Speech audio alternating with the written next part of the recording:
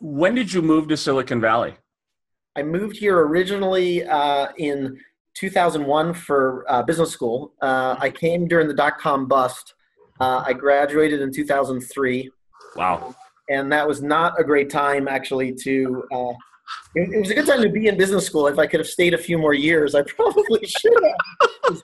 that window was not a great time to be here. But I, I basically then left for a little over a year uh, to start a company in Los Angeles with a very good friend of mine uh, and then I moved back here. I ended up working in a number of um, kind of startups and helping build some startups. Uh, and then, um, you know, kind of fell into venture capital again, uh, mm-hmm. where it's it's almost funny to say in this environment, but there was a period where many great founders just could not raise money. Uh, the dot com bust left a lot of VCs basically not excited about the internet. I, I remember a meeting at, at Kleiner Perkins as an entrepreneur where they, they told me that the internet was not interesting, you know, and given my passion, they, they were very focused on energy at the time and energy related investments.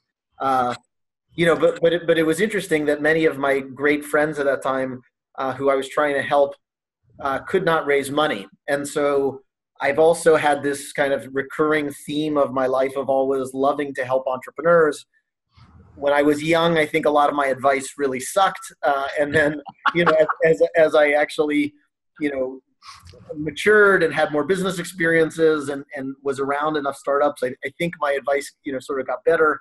Um, and so I always had this network of, of founders and entrepreneurs that, that were just seeking my advice. Uh, and there was this unique period where some amazing entrepreneurs didn't need my advice. They just, they just really needed money and they were having a hard mm. time raising it. So I ended up spending time um, helping them fundraise, uh, hmm. really trying to network and make connections and uh, working on their deck. And then, and then in, I was not trying to be an angel investor, but I ended up investing in some of those companies really just as an expression of support because I really wanted to see these guys succeed.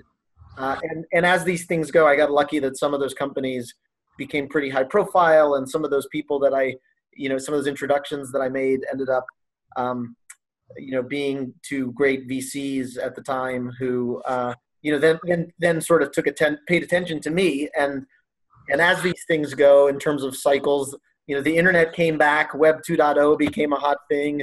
And, you know, a number of venture firms were, were curious to get young people kind of back into the business who had networks in the internet space. And, um, you know, and, and I was sitting in a pretty unique position at that point uh, and so I ended up basically ended up here at CRV now uh, years ago. Wow.